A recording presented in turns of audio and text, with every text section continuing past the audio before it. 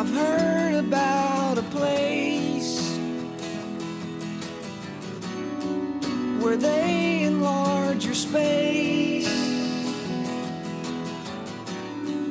Take pity on the small ones.